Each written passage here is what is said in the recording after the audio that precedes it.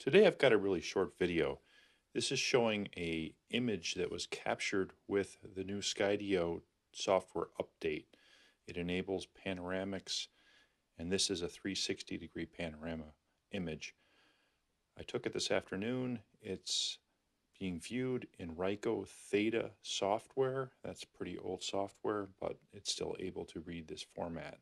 I displayed it on the screen and I'm scrolling around that screen and capturing my screen video using NVIDIA's GeForce Experience.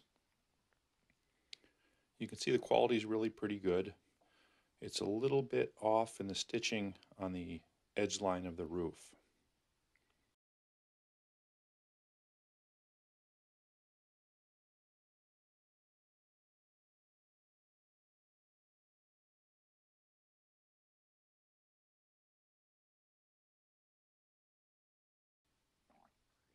Here's the uh, source rectangular format image.